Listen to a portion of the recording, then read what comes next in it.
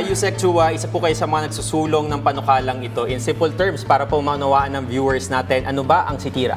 Well, ang ibig sabihin ng SITIRA ay Corporate Income Tax and Incentives Reform Act. Ito yung package 2 ng Comprehensive Tax Reform.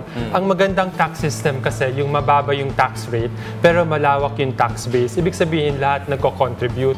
Ang problema sa ating bansa, napakataas ng ating tax rate, lalo na sa corporation, 30%, yung highest in the region. Pero yung tax base, makitid kasi ang daming exemption. So, ang layunin ng SITIRA, babain yung corporate income tax rate from 30 to 20%, pero yung tax base, palawakin natin by uh, ra- rationalizing fiscal incentives. Yusek, kamusta ang reception ng foreign investors natin sa reform na ito?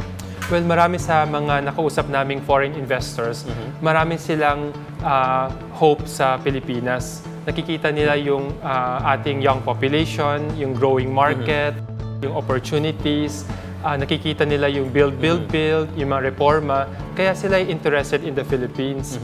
Pero ah, gusto nila na sana matapos na yung debate sa Congress. Kasi habang hindi pa natatapos yung ah, pag-debate and pag-approve ng SITIRA, siyempre naka-wait and see sila. So, hindi muna sila mag invest Pero marami sa kanila nagsasabi sa atin na paka- kapag napasa na ang SITIRA, ay makakapag-decide sila at papasok sila. In fact, maraming ang investors ah, are very hopeful sa Philippines because of nga the future and the ah, strong economic performance natin. Para naman sa mga small and medium enterprises, paano makakatulong ang sitira sa kanila, lalo na for uh, businesses na gusto mag-expand?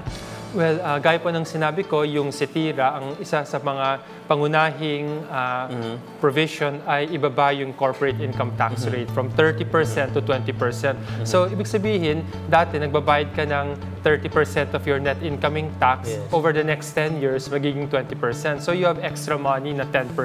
So, anong pwede mong gamitin, gawin dyan? Pwede mong uh, i-reward yung sarili mo by taking profit or you can reinvest. So, when you reinvest, that creates job.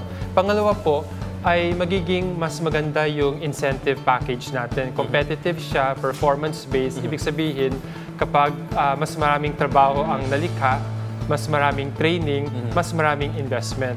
So makikinabang din talaga yung mga Pilipino at yung mga maliliit na businesses. Paano mararamdaman ng ordinaryong Pilipino ang benepisyo ng sitira?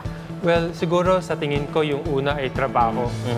Kasi kung ang mga businesses ay hindi mag-invest, ay hindi talaga maglalago yung ah, dami ng trabaho.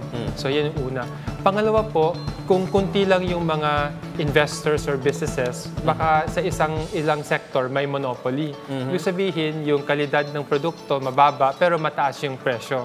But if you encourage more business, ah, may competition, siyempre yung pinakamagaling na mag-provide ng high quality good at the lowest price, yung magiging successful. At yan yung makakatulong sa ordinaryong Pilipino. Okay. At siguro overall yung general economic environment kasi ah, pag tinulungan natin ang isang sector at lumago yan, may multiplier effect yan sa ibang sectors.